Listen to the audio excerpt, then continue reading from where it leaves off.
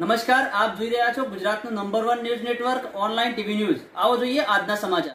ખેરાલુ વૃંદાવન ચાર રસ્તા આવેલી શૈશવ બાળકોની હોસ્પિટલ ડોક્ટર સંજય પટેલની મહેનત રંગ લાવી ખેરાલુ વિધાનસભા વિસ્તારનું અનોખા ઘરેણા સમાન ડોક્ટર ગોસાઈની બાળકોની હોસ્પિટલ આધુનિક સાધનોથી સજ્જ નિષ્ણાત ડોક્ટરોની ટીમ દ્વારા સઘન સારવાર કરવામાં આવે છે.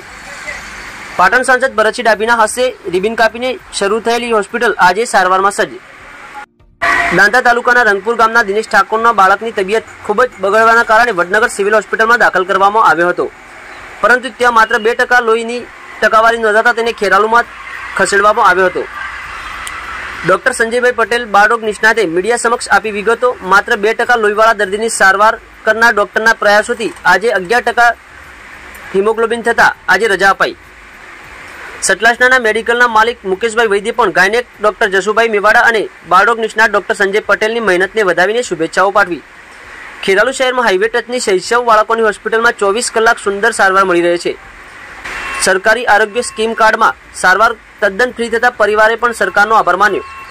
ડોક્ટર સંજયભાઈ પટેલે જણાવ્યું હતું કે તારીખ ત્રણ આઠ બે હજાર તેવીસના રોજ એક બાળક આવ્યું હતું જેને તપાસતા ખૂબ જ ગંભીર હાલતમાં હતું. ઓક્સિજન આપીને તેને આઈસીયુમાં રાખ્યા બાદ લોહીના રિપોર્ટ કરતા બે ટકા જણાવ્યું હતું. ખૂબ જ ઓછી લોહીની ટકાવારી જણાતા સારવાર ચાલુ કરીને આજે દસમા દિવસે અગિયાર ટકા હિમોગ્લોબિન થતાં તેને રજા આપવામાં આવી હતી. શૈશવ બાળકોની હોસ્પિટલ ખેરાલુમાં પીએમ જેવાય આયુષ્યમાન કાર્ડમાં મફત સારવાર કરવામાં આવે છે. વધુ સમાચારો માટે જોતા રહો ફારૂક મેમણ સાથે ઓનલાઈન ન્યૂઝ હું ડૉક્ટર સંજય પટેલ રહેવાસી સતલાસના ગોઠડા પીડિયાટ્રિશિયન શૈશવ હોસ્પિટલ ખેરાલુથી. દીપક કરીને એક બાળક અમારી જોડે ત્રીજી તારીખે આવ્યું. એને તપાસતા ખબર પડી કે એનું લોહી ખૂબ જ ઓછું છે, જે બે ટકાની આસપાસ હતું. સિવિયર બ્રસલેસને સાથે સીસીએફ કાર્ડિયક કન્જેસ્ટિવ કાર્ડિયક ફેલિયરમાં પેશન્ટ હતું.